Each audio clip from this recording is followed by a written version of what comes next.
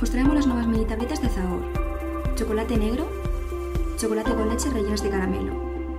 Cada paquete es de 160 gramos y cada mini tableta va envuelta individualmente.